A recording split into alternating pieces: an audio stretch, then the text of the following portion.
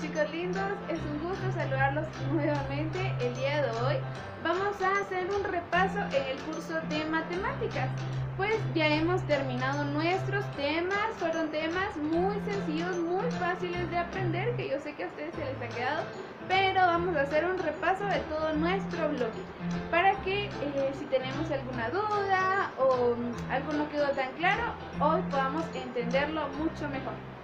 Vamos a iniciar con el primer tema y hablábamos acerca de las medidas, ¿sí? ¿Se recuerdan que aprendimos em, que, por ejemplo, si yo quiero medir este, este cuadro o esta pizarra, para medir altura y ancho se hace uso de lo que es el metro.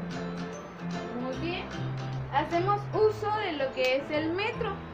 Y el metro está conformado, yo les decía, está conformado por centímetros, ¿sí?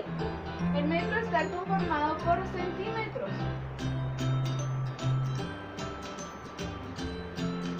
Muy bien.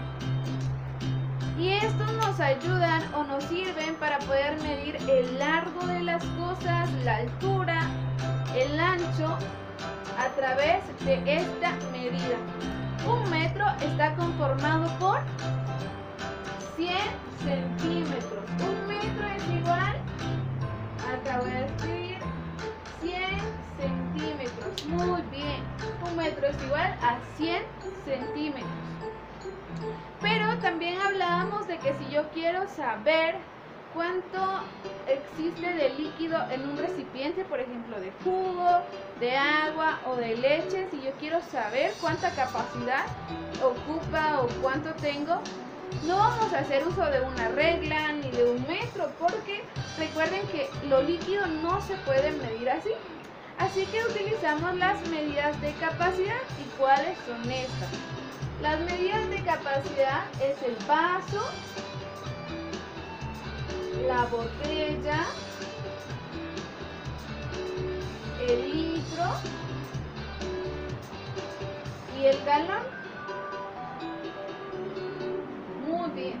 El vaso, la botella, el litro y el galón son medidas de capacidad que a nosotros nos sirven para poder eh, saber cuánto contiene un recipiente. Por ejemplo, sabemos que un litro está conformado por cuántos vasos? Por cuatro vasos. Tenemos, esto se nos tiene que quedar a nosotros muy bien. Un litro está conformado por cuatro vasos. Una botella es mucho más pequeña, así que solamente está conformado por tres vasos. Entonces, cuando usted quiera saber o medir eh, cuánta leche tiene, cuánta agua tiene en algún recipiente, tiene que hacer uso de estas medidas de capacidad. Por ejemplo, si decimos compramos un litro de leche, un litro de jugo, ¿cuántos vasos van a tener o cuántos vasos nos va a alcanzar? Solamente para cuatro vasos. Muy bien. Entonces nos damos cuenta que para medir líquidos y para medir em, algunos objetos hacemos uso de estos dos lo que es el metro y centímetro para el largo y ancho, altura de las cosas y vaso, botella, litro, galón para medir la capacidad eh, de un líquido dentro de un recipiente. También, ¿qué vimos durante este bloque? Aparte de esto, nosotros aprendimos lo que es el reloj. Y aprendimos que un reloj cuenta con tres agujas. Muy bien. La primera que recibe el nombre de horaria. Voy a anotar acá reloj. Contiene tres agujas, lo que es la horaria. A ver, ¿qué dijimos que marcaba la horaria? Muy bien, las horas. Y es la aguja más pequeña, ¿sí? La aguja más pequeña del reloj se llama horaria y marca las horas. Luego encontramos otra que se llama minutera. Como su nombre nos lo indica, marca los minutos. Muy bien. Y esta aguja es un poco más eh, grande que la horaria. Recuerden, la horaria es la más pequeña minutera es más grande. Decía que algunos relojes cuentan con otra aguja que se llama segundera. Y como su nombre también nos lo dice, cuenta o marca lo que son los segundos. Muy marca lo que son los segundos. Y esta aguja es más delgada que la minutera. Es larga, pero es más delgada. Entonces, con estas tres agujas nosotros podemos saber, al conocer su nombre, podemos distinguirlas en el reloj y así conocer eh, cuál es la horaria, cuál es la minutera y saber en qué momento nos está marcando. También eh, debemos saber que, que el reloj se debe contar de 5 en 5 para saber la hora, para que a ustedes se les haga más fácil. Y que una hora está compuesta por cuántos minutos? 60 minutos tiene una hora. Muy bien. Esto es elemental que nosotros lo sepamos para poder eh, trabajar, eh, para que nosotros veamos lo que es eh, el reloj y al momento de que ustedes pues puedan ver uno y puedan saber la hora. Yo espero que en casita ustedes hayan practicado, que si hay un reloj en casa, que tratemos de distinguir y saber em, qué hora, qué hora es, de acuerdo a las agujas del reloj, que son las que nos marcan, ¿verdad? También aprendimos lo que es el calendario.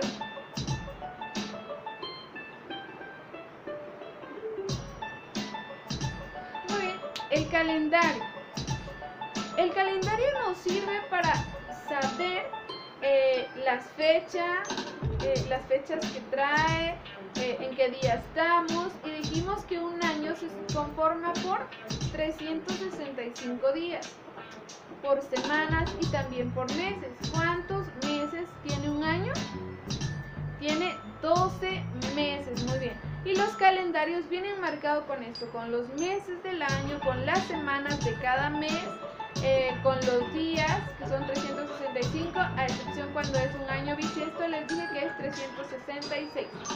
Pero también en el calendario nosotros podemos marcar fechas importantes, eh, acontecimientos o celebraciones que se tienen dentro de un mes determinado. Vamos a anotar acá los meses del año. Yo espero que ustedes se lo sepan ya y que vayan diciéndolos juntamente conmigo. El primer mes del año es enero, muy bien. Luego sigue febrero,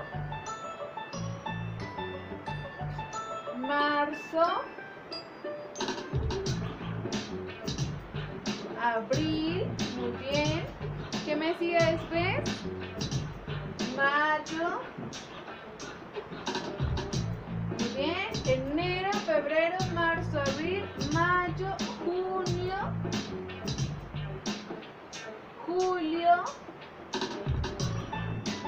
Agosto, septiembre, ya casi vamos terminando acá el año septiembre. ¿Y en qué mes estamos ahora? Octubre. Nos faltan dos meses,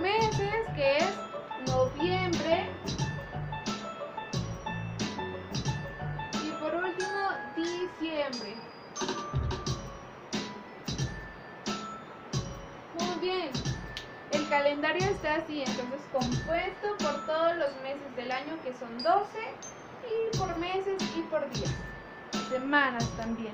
Muy bien, entonces nos damos cuenta que es importante sabernos los meses del año para que eh, nosotros sepamos qué mes sigue después y bueno, tener bien claro cuáles son los meses que conforman nuestro calendario. Y el último tema que nosotros aprendimos fue acerca de nuestras monedas y billetes. Les dije que las monedas, o nuestras monedas, nuestros billetes, reciben el nombre de quetzales. Y estos se representan con una Q. ¿Sí? de quetzales. Hay monedas eh, de 25 centavos, de 50 centavos y de un quetzal, que son las que normalmente em, utilizamos. Anteriormente habían de 5 centavos y 10 centavos, pero esas, em, bueno, sí las podemos ver, pero eh, ya casi no se están usando. Pero eh, también eran nuestras monedas.